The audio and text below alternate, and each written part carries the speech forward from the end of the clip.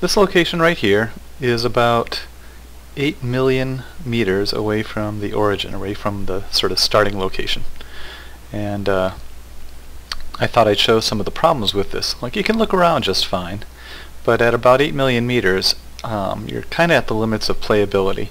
So if I go in this direction, everything's fine. It's not so bad. If I go in this direction, however, things are really jerky. And it's because I've gone 8 million in one direction, like in x instead of z or whatever. And so by moving along the x direction where I'm jumping from 8 million to 8 million and 1 and so on, you get this really jerky kind of look to it.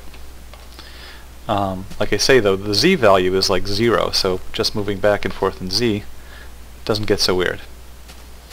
However, you'll notice another interesting error, which is that due to the x precision uh, being off, there's something funky going on with the torch here. So like if I if I move, and in fact what's interesting here is I'm moving just a little tiny, like a quick click to the left or right, it makes me jump actually. I don't move smoothly from left to right. There's a whole jumpiness to it. But anyway, look at the, the torch as I move. Here, I'll take it from here. This is actually even more convincing that something weird's going on.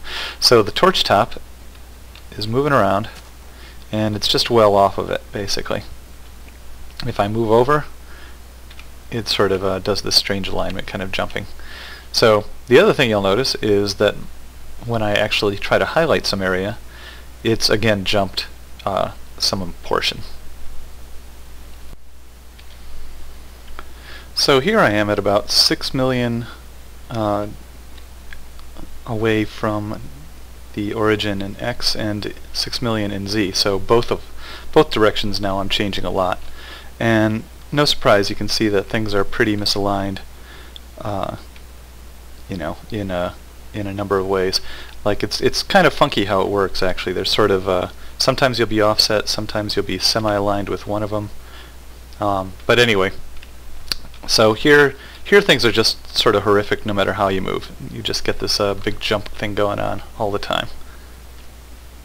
And I found that if you go to about 9 million meters, you'll uh, you'll start to get in a place where it just auto saves all the time. If for some reason, uh, however Notch's uh, system works, it sort of decides that you need to save the file, and it just keeps constantly saving that chunk and I guess the surrounding chunks again and again and again, and basically it becomes unplayable.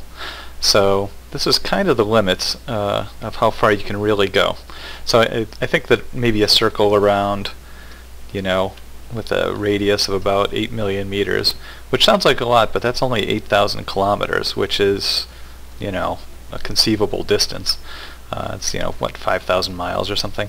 So it's, uh, you know, the, the claims that we can have a, a surface area eight times the size of the Earth well, that's true enough, the numbers are all there, but if you actually try to go to any of those places, you just get crashes at like uh, 9 million I found you start getting crashes. So anyway, not a big deal. No one's ever going to get more than a thousand or two thousand or a few thousand away from the origin anyway.